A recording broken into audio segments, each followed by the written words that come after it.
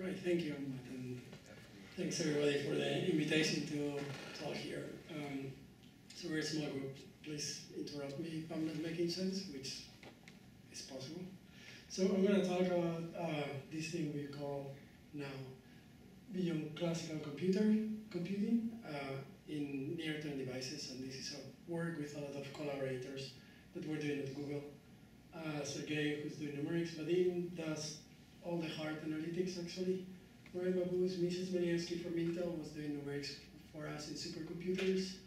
Lendings and Mick Bremner's complexity theorist, he's been helping us uh, making sure we are making sense when we use on the complexity theory results. John Martinis, who is the head of the experimental lab, and what we're trying to do is design an experiment for you.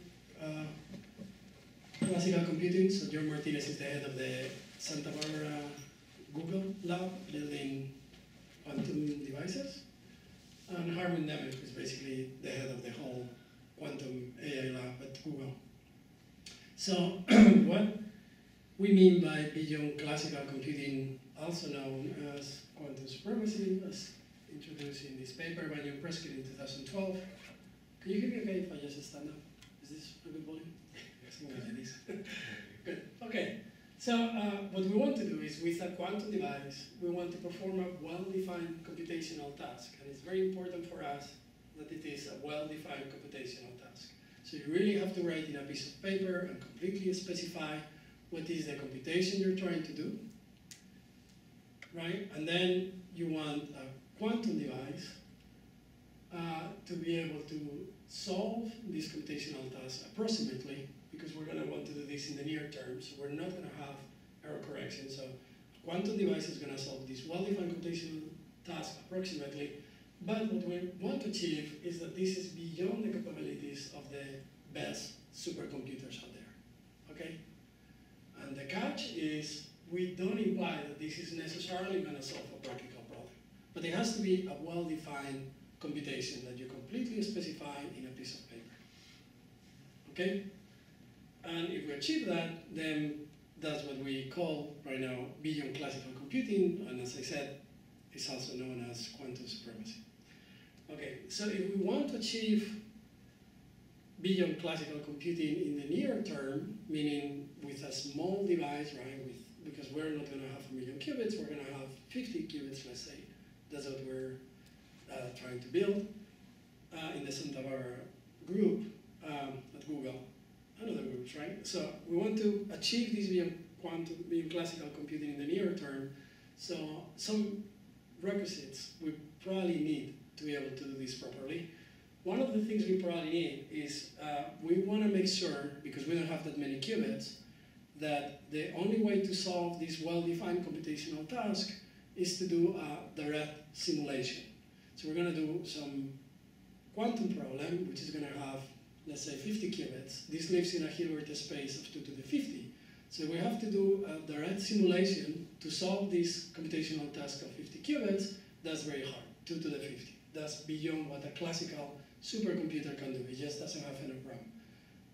But if there is other way to solve the computational task, like factoring, you don't need to simulate Shor's algorithm to factor, you just factor, then probably this is going to be hard to do with 50 qubits beyond what a classical computer can do. You cannot factor with 50 qubits anything that a classical computer or you know my watch cannot factor, right? So we need a task that the only way to solve is to really simulate the quantum problem directly.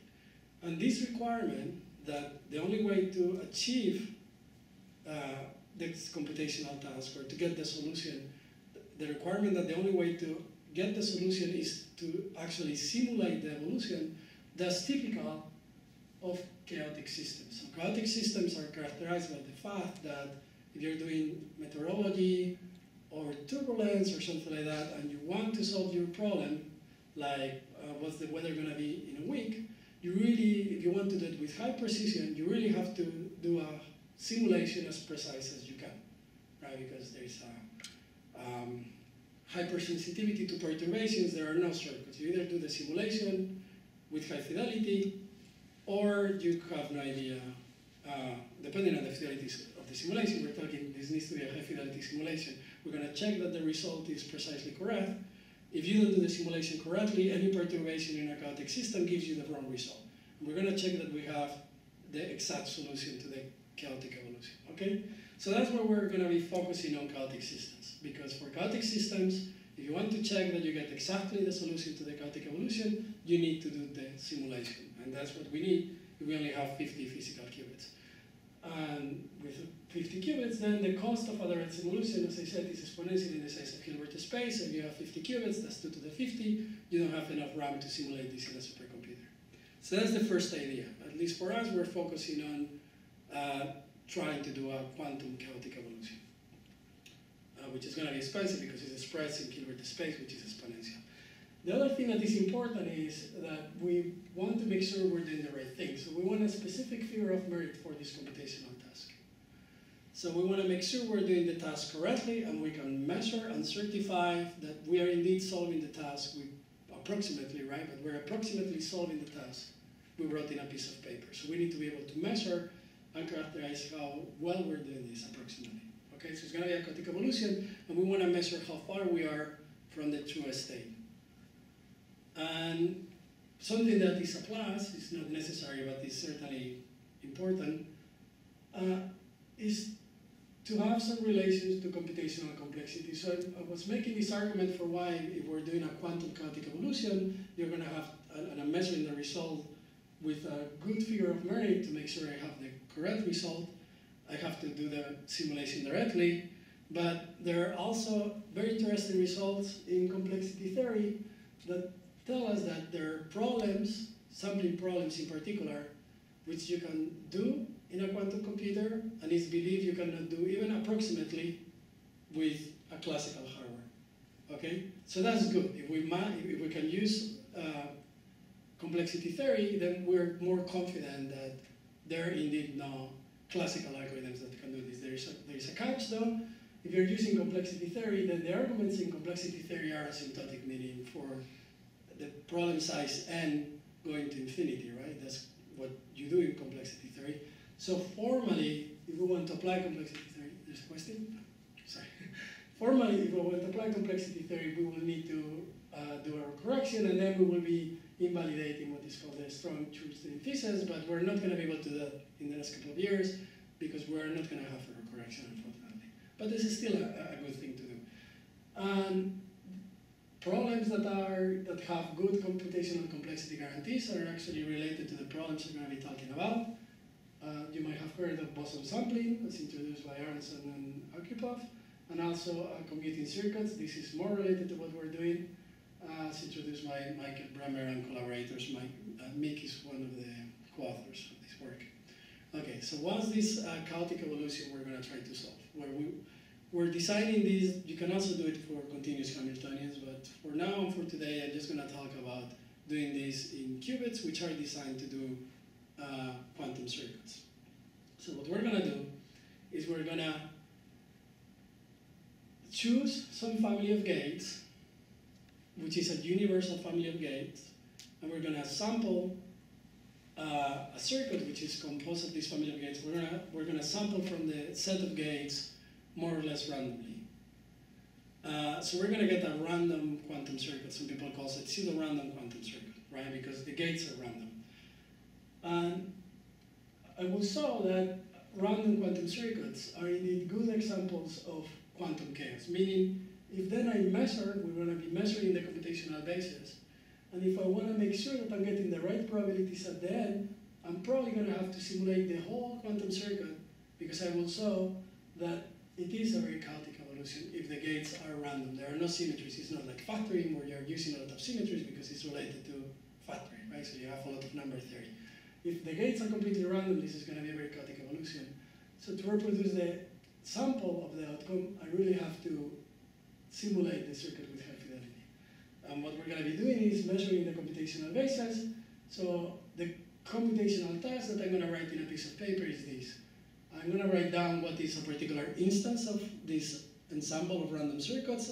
So I sample my set of gates, I get a particular instance, I write it down in a piece of paper, and that defines a probability distribution if I'm measuring the computational basis. X here stands for bit string in a computational basis, some bit string x.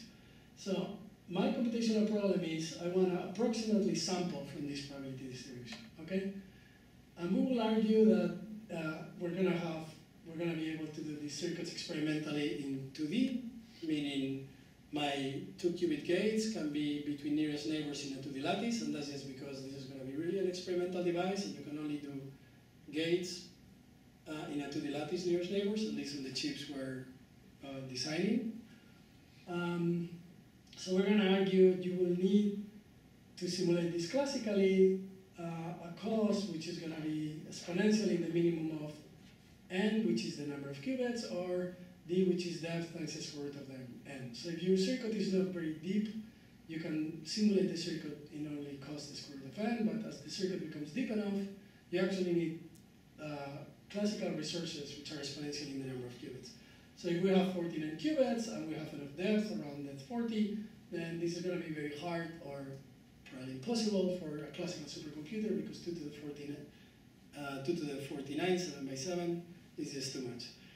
And another thing that is nice about this particular problem is this is a good benchmark for quantum computers. So we care about this problem as a proof of principle, let's say, that we can do this beyond classical computation, so well-defined computational task, like this sampling problem, can write in a piece of paper and I can do approximately better in a quantum device, physical quantum device, than in the best classical supercomputer. But even if there was no disconnection, this is something we probably will want to do because we're building hardware, and this is going to turn out to be a good way to benchmark the fidelity of my circuits. And I will explain how that works. So we can do, we can measure the fidelity of one gate for one qubit, we can measure the fidelity of two qubit gates with randomized benchmarking, but if you have a complicated circuit, and you might have non-Markovian correlated noise and stuff like that, uh, until now we didn't have a good method to really measure for complicated uh, circuits and complex quantum states what's the fidelity. This is going to turn out to be a good way to measure the fidelity of my experimental device. And finally, this will connect to results in computational complexity, in particular the commuting uh, circuits. Okay, so the first thing I'm going to do is I'm going to argue why these random circuits are indeed examples of very chaotic evolutions. And remember, this was important because this is an argument that says that if you want to sample from the probability distribution, you actually have to simulate the full circuit evolution. Okay? So the way we, we are going to argue that, um, to start with, that uh, this evolution is chaotic is I'm to select a circuit, in this case, some random circuit acting on 5 times 4 qubits. So this is a circuit in a 2D lattice. And uh, the circuit has depth 40, so that's this axis.